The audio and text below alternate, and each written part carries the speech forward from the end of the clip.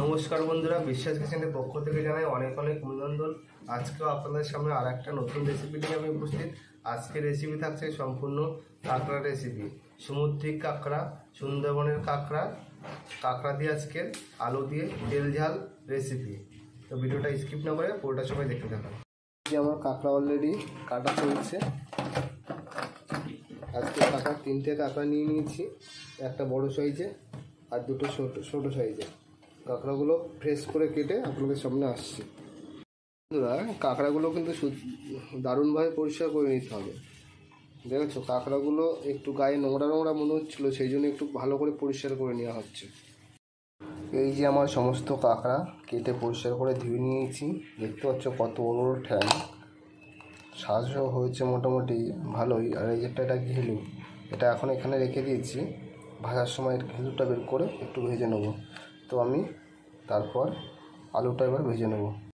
আমি প্রথমে আলুটা ভেজে নিয়েছি।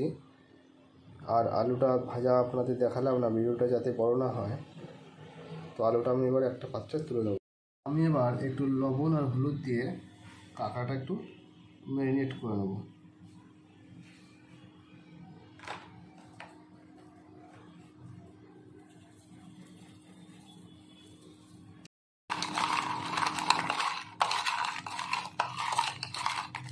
আমার মেরিনেট হয়ে গেছে, এবার কাঁকড়াটা একটু হালকা করে ভেজে নেব। আমার তেল অলরেডি গরম হয়ে গেছে, এবার এই কাঁকড়াটা এখানে দিয়ে হালকা করে ভেজে নেব। কাঁকড়াটা ভাজলে কী হবে? তাহলে তরকারির স্বাদটা আরও দুর্দান্ত লাগবে।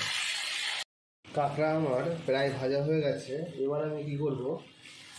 যেটা একটা খোলার মধ্যে যে ঘিলুগুলো রেখেছিলাম, এই ঘিলুটা আমি একটা সাইডে ভেজে নিলাম। কারণ এটা দেরি করে দিচ্ছি। প্রথমে দিলে কি হতো? তাহলে এটা সব জায়গা লেগে যেত। চামচের মাধ্যমে তুলে একটা সাইডে দিয়ে দেবো, হালকা করে একটু ভেজে নেব এই ঘিলুটা। এটা তো দুর্দান্ত টেস্ট এবং এইটা দিলে তরকারির টেস্ট আরও ভালো হয়। ভাজা আমার হয়ে গেছে। আমি এবার এই কাঁকড়াগুলো আমি একটা পাত্রে তুলে নেব।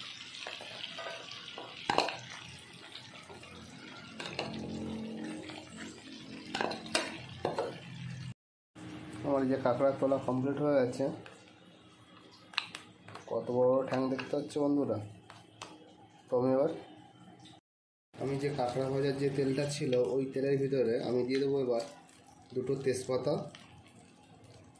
দুটো গরম মশলা, দারুচিনি এবং লবঙ্গ।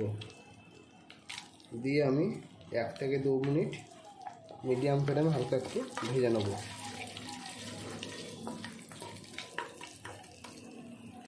এবার এখানে দুটো বড় সাইজের কুচি করে নিয়েছিলাম, সেই কুচিটা এবার দিয়ে দেবো। দিয়ে মিডিয়াম ফ্লেমে পাঁচ থেকে দশ মিনিট প্যাঁচটা ভালো করে আমি একটু ভেজে নেব।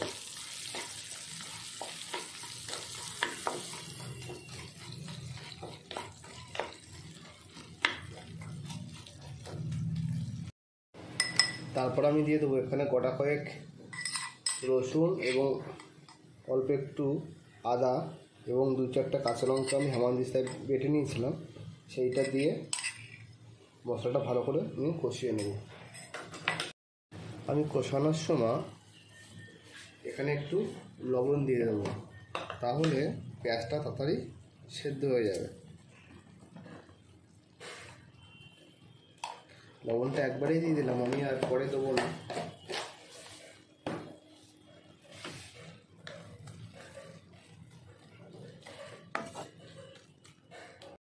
এবার আমি দুটো ছোটো সাইজের টমেটো কুচি আমি দিয়ে দেবো। দিয়ে আর একটু ভালো করে নাড়িয়ে নেব। যত সময় না পেঁয়াজ গলে যাচ্ছে, তত সময় মশলাটা কষাতে থাকব। মশলা আমার কষানো হয়ে গেছে। এবার আমি কী করব? এই যে সাইডে যে তেলটা আমি একটু বের করে নিয়েছি, এই তেলে এবার আমি কাশ্মীরি লঙ্কাটা দিয়ে দেবো। কাশ্মীরি লঙ্কাটা গরম তেলে কি দিলে কি হয়? তরকারির কালারটা দুর্দান্ত আসে। দিয়ে আমি হালকা করে একটু নাড়িয়ে নেব। দেখতে পাচ্ছ তরকারি কালারটা কত সুন্দর হয়ে গেছে। তার সমস্ত মশলার সাথে আমি মিষ্টিটা মিশিয়ে নেব। কালার চলে এসছে, দেখো।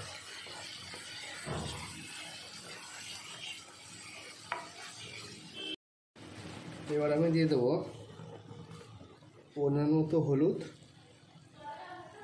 যে যেমন ঝাল খাবে, সে যেমন একটু লঙ্কা দিয়ে দেবে, ঝাল লঙ্কা।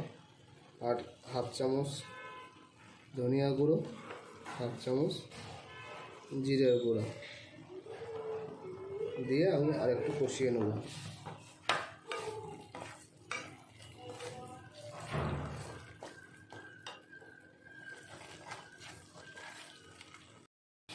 এবার আমি মশলা কষানো অলরেডি হয়ে গেছে। আমি যে আলুটা ভাজা করে রেখেছিলাম, সেই আলুটা দিয়ে দেবো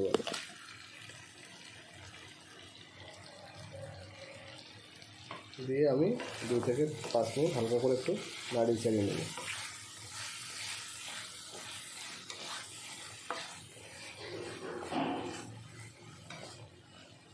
এবারে আমি যে ভাজা কাঁকড়া করে রেখেছিলাম এই যে, সেই কাঁকড়াটা এবার দিয়ে দেবো।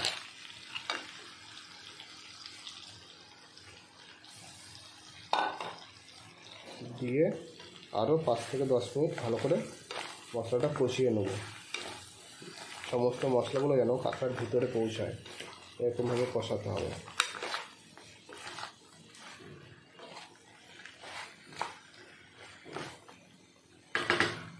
আমি এখানে পাঁচ মিনিট মতো এটাকে একটু ঢাকা দিয়ে রাখব মিডিয়াম ফ্লেমে পাঁচ মিনিট আমার হয়ে গেছে। এবার একটু হালকা করে একটু নাড়ি চাড়িয়ে দেবো। সুন্দরভাবে কষানো হয়ে গেছে এবং সুন্দর একটা স্মেল আসছে। আমি কী করব এবার? এবার এখানে আমি একটু পরিমাণ মতো জল দিয়ে দেবো। এই জলটা আপনারা পারলে গরম জল দেবেন, তাহলে আরও সুন্দর হয়। কিন্তু এই মুহূর্তে আমার হাতে সময় কম সেই জন্য আমি ঠান্ডা জলেই দিয়ে দিচ্ছি। দিয়ে কাঁকড়াটা ভালো করে একটু ফুটিয়ে নেব।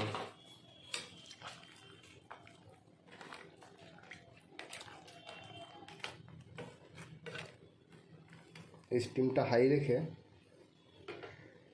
আমি দশ মিনিট মতো থেকে পনেরো মিনিট ভালো করে ফুটিয়ে নেব। আমার আজকের কাঁকড়ার রেসিপি কমপ্লিট তো সুন্দর হয়েছে, দেখতে পাচ্ছ গ্রেভিটা কত সুন্দর। তো আমি এবার এখানে এবার দিয়ে দেবো একটু ধনে পাতা। এবার আমি কুচিয়ে রাখা ধনে পাতাগুলো হালকা করে উপর থেকে একটু সরিয়ে দেবো সরিয়ে দিয়ে হালকা করে একটু নাড়ি চালিয়ে নেব।